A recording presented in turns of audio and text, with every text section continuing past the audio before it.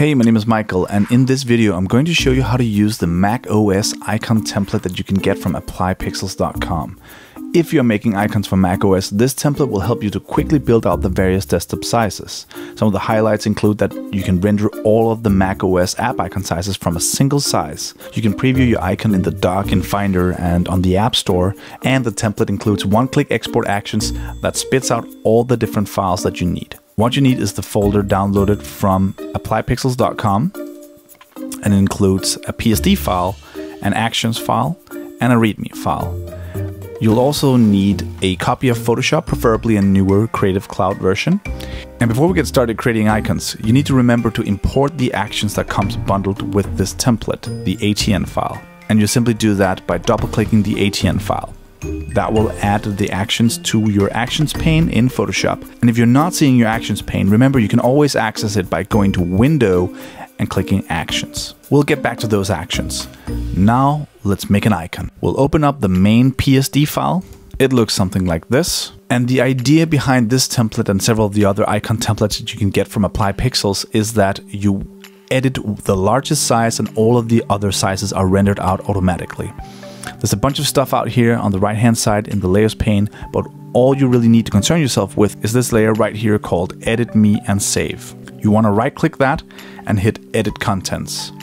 This is the canvas in which you will create your icon. It's a 1024 by 1024 pixel canvas and it comes bundled with a bunch of neat little building blocks for you. First of all, we've got a couple of iOS gradients things that are native on iOS and that sometimes also spills over to Mac OS. So that's a bunch of colors just to get you started. I'll show you how to use those in a second. You also get a standard circle shape, which is very common on Mac OS, and you can use that to build off. Let me show you how you create a really quick icon. Let's hide the little glyph here.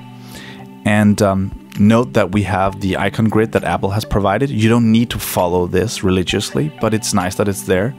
Let's change the color of this icon. Let's just take some inspiration from the iOS colors and copy over a lovely gradient.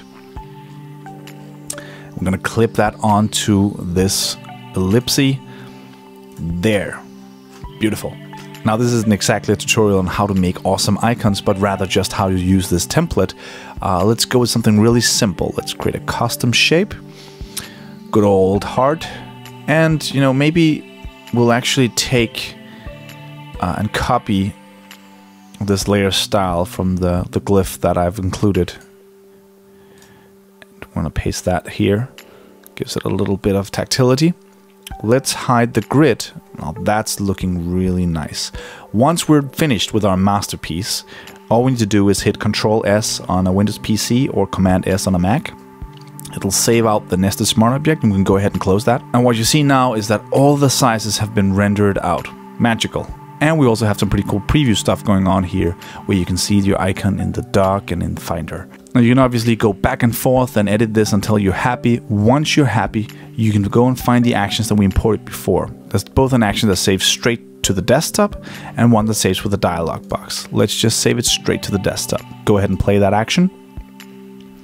And if we go to our desktop now, you'll notice that there's a bunch of different files here with all the various sizes that we need to bundle with our app. That's really cool. And that's how you use the macOS icon template. You can get this template and other cool design resources by becoming a subscribing member at applypixels.com.